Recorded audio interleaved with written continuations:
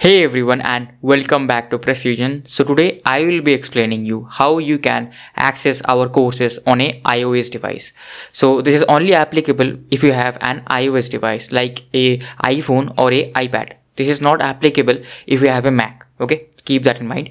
So first of all, you have to go in the App Store. Then you have to search My Coaching. My Coaching by Apex. It will come up. Okay, then you have to install this app. It will just it is just loading and it will soon come up. Then yeah this one right? My coaching by apex.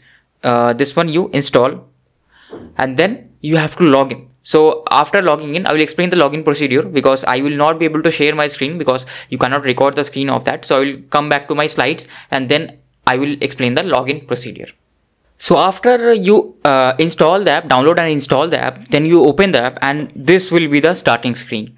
So here, right, you have, they are saying you have to enter the email or phone number. What will you enter? Whatever credentials you used in the website to purchase the course, course, that credentials you will use here. Okay. You will enter that phone number or that email ID. Then after uh, pressing the proceed button there three options will come up. Your email address or phone number that will be already there as you have written it previously.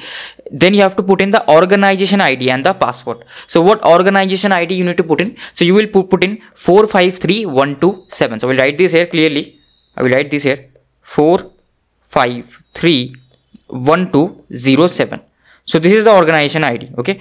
This is the organization id that you need to put in. 4531207 4531207 that you put in then you put in your password whichever password you used to log in in the website. That same password will you will use here. And once you press the login button it will simply log you in and you will simply be able to access whatever course you have purchased. So here special courses are basically the free courses ones. Then uh, the courses are uh, this courses tab is the paid courses one. Then uh, in the test tab you can access the test series okay? And there if there are free tests you will you will be able to access the them here and all other things right? Once you browse through the app you will be able to understand it so these are free courses paid courses and our test series. So through these things you can access the app.